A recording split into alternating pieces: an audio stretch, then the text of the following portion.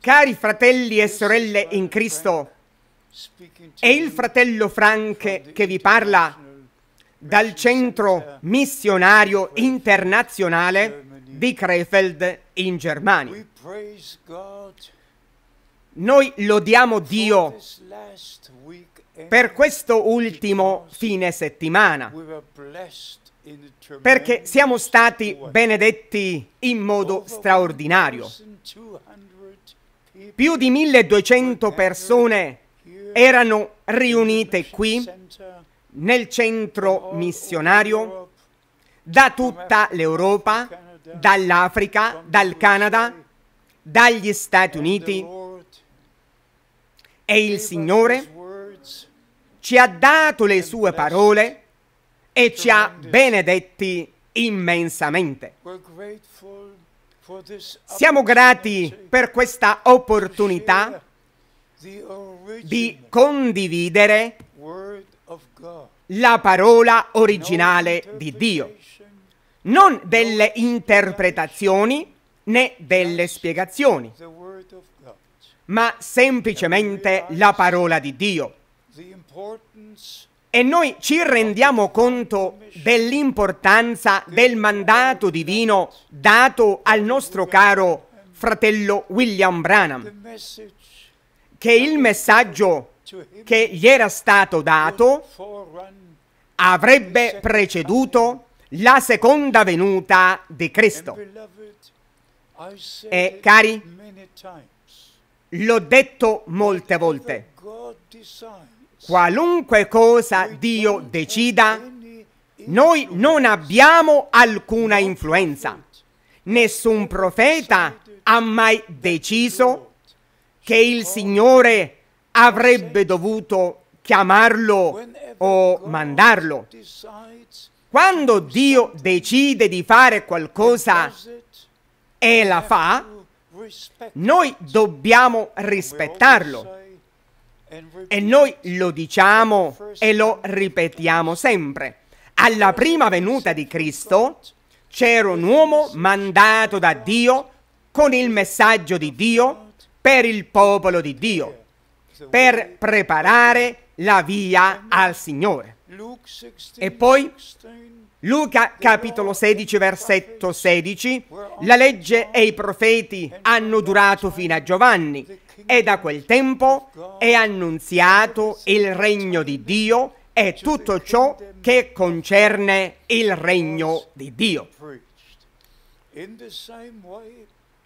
Allo stesso modo nel nostro tempo le profezie sono state fino a William Branham, l'uomo di Dio che sarebbe venuto prima del grande e terribile giorno del Signore.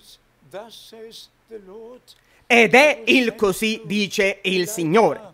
Io vi mando il profeta Elia prima che venga il grande e terribile giorno del Signore. Ed egli volgerà, egli volgerà. Questo è il punto principale. Egli volgerà attraverso e per mezzo del suo messaggio, egli volgerà i cuori, non le teste, i cuori. Li ricondurrà a Dio, li ricondurrà alla parola, li ricondurrà agli insegnamenti originali degli apostoli. Adesso, alla fine del tempo della grazia, dobbiamo essere riportati al fondamento originale, agli insegnamenti originali degli apostoli. Il nostro Signore è il medesimo che era all'inizio ed è il medesimo alla fine, l'alfa e l'omega. Ora, brevemente, veniamo al nostro tempo. Ed io devo essere molto schietto e spero di essere molto breve. Quando il fratello Branham fu to chiamato al ministero in 19 nel 1933, ricevette un grande incarico. May the 7th Il 7 maggio 1946 ricevette il mandato divino. Come Mosè fu inviato, gli furono dati due segni, due segni sono dati a te. Voi tutti siete a conoscenza di questo e, cari, William Branham ha avuto un servizio e un ministero evangelistico in dodici nazioni. E poi giunse un giorno speciale in cui egli fece l'annuncio, il primo aprile 1962. Io devo ritornare a Jeffersonville a motivo di una visione e devo immagazzinare il cibo.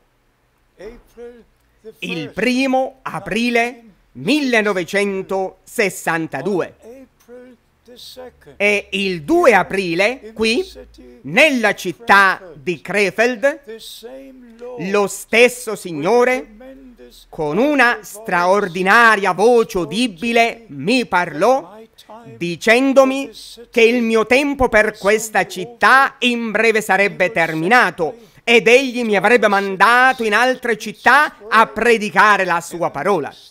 E la cosa successiva fu di immagazzinare il cibo.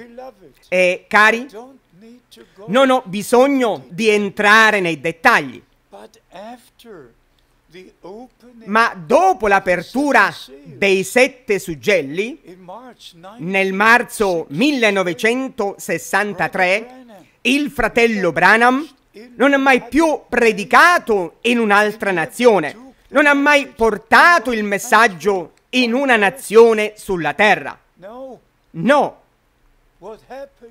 Cosa è accaduto? Egli ha portato il messaggio e il messaggio era per precedere la seconda venuta di Cristo.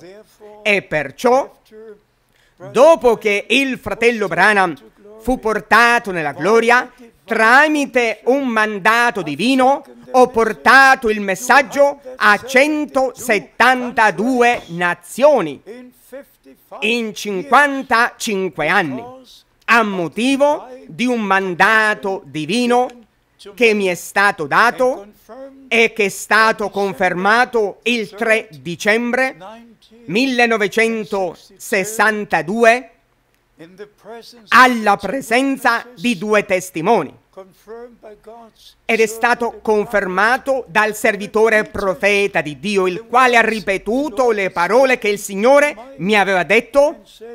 e poi dicendomi, fratello Frank, aspetta con la distribuzione del cibo finché non avrai ricevuto il resto del cibo.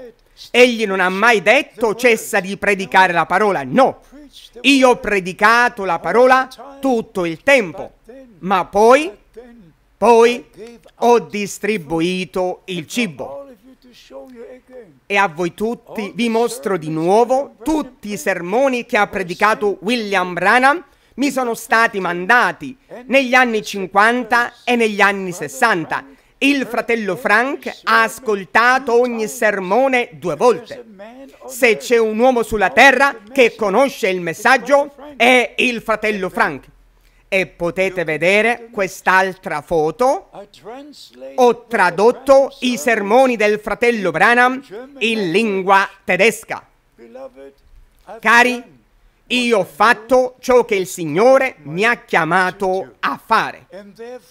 E quindi il tempo è giunto per dire onestamente, ma anche per sottolineare che è giunto il momento di fermare tutti i falsi insegnamenti e ritornare alla parola di Dio.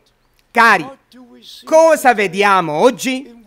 In una città ci sono tre, quattro differenti chiese che affermano di seguire il profeta, che affermano di credere il messaggio.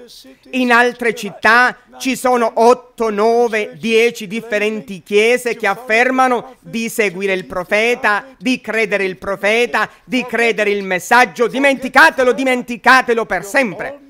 Voi tutti siete fuorviati e fuorviate la gente. Nei giorni della Bibbia c'era una chiesa in una città e Dio stabiliva in quella chiesa i differenti ministeri e così sarà alla fine. E per essere sincero, se esaminate cosa insegnano questi fratelli, spiegano ciò che il fratello Branham ha detto. Voi dovete predicare la parola di Dio e lasciare ogni sermone nel modo in cui è stato predicato, senza prendere delle dichiarazioni fuori dal contesto, ma lasciarle, lasciarle così. Perché il fratello Frank non ha nessun problema con nessuno dei messaggi predicati da William Branham a motivo del mandato divino. Ed io riporto nella parola di Dio tutto ciò che ha detto il fratello Branham. E poi un'altra affermazione del fratello Branham. Non accettate mai qualcosa a meno che sia scritta nelle scritture. Cari, è qualcosa di molto serio. E poi 150 volte William Branham si è riferito ad Apocalisse capitolo 22, gli ultimi versetti. Se alcuno aggiunge o toglie qualcosa dalle parole del libro di questa profezia, la sua parte sarà tolta dal libro della vita. È giunto il momento di richiamare la vera sposa che è uscita fuori dal passo e riportarla al passo in accordo con la santa parola di Dio. Un'altra domanda prima di concludere. Vi aspettate che tutti questi gruppi saranno alla cena delle nozze? Qui non si conoscono gli uni gli altri, non prendono la cena del Signore insieme, ognuno è per conto suo. E nel cielo vi aspettate che loro saranno alla cena delle nozze? Dimenticatelo per sempre. Loro camminano nelle proprie vie, hanno il proprio piano, i propri insegnamenti e le persone li seguono. Noi seguiamo Gesù Cristo, il nostro Signore e Salvatore. E siamo grati al Dio Onnipotente per aver mandato il suo servitore profeta per riportarci a Dio, per riportarci alla parola di Dio. E sono riconoscente che posso guardare indietro a 55 anni nel ministero in 172 paesi. E adesso abbiamo anche tutte le stazioni televisive su tutta la terra e condividiamo la preziosa e santa parola di Dio. Maranata! Il nostro Signore verrà in breve, molto, molto presto. La tromba suonerà e noi saremo nella gloria per sempre. Dio vi benedica nel nome santo di Gesù. Amen.